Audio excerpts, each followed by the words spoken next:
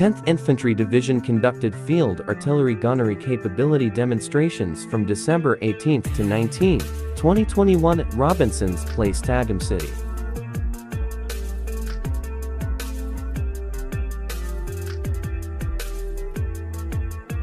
This activity is in connection with the 86th founding anniversary of the Armed Force of the Philippines on December 21, 2021.